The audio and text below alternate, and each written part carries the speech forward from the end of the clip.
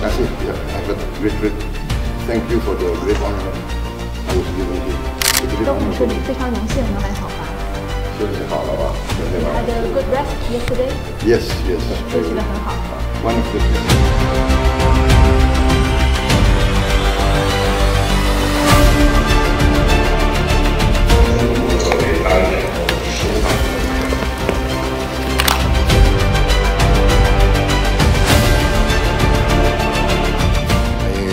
Have a big admiration for the history of China and also great admiration for the achievements of the leaders of the People's Republic of China.